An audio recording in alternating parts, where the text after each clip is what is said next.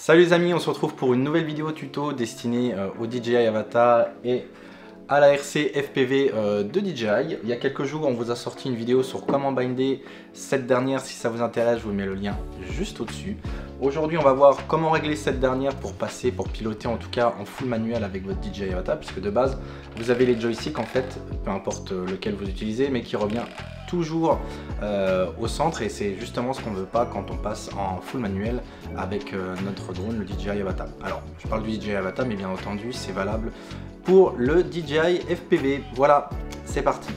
Juste avant d'attaquer l'opération, je voulais passer un petit coup de gueule à DJI puisque pour ce faire, vous avez besoin euh, d'une clé, une petite clé comme ceci que vous n'avez pas dans le carton, quand vous commandez votre RC, cette clé là en fait je l'ai récupérée dans le pack de mon DJI FPV et là la mauvaise surprise c'est que vous ne l'avez pas. Donc, euh, donc voilà ça commence à faire pas mal de, petites économies à gauche à droite qu'effectue DJI vous n'avez pas la clé là donc c'est à vous à vous débrouiller.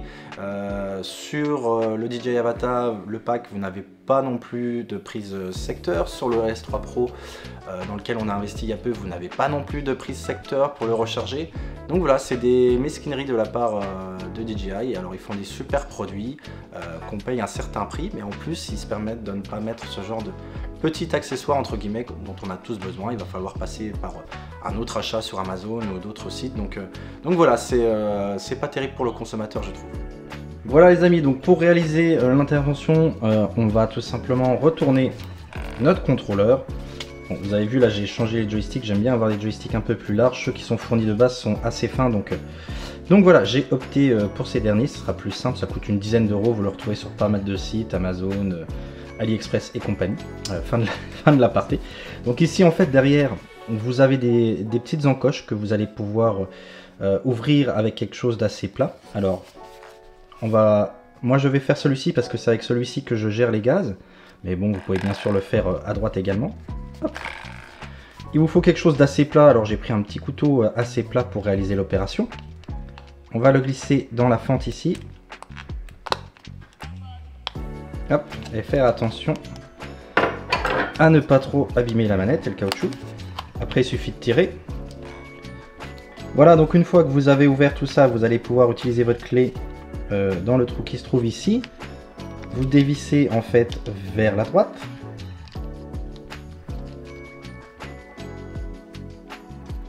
Voilà.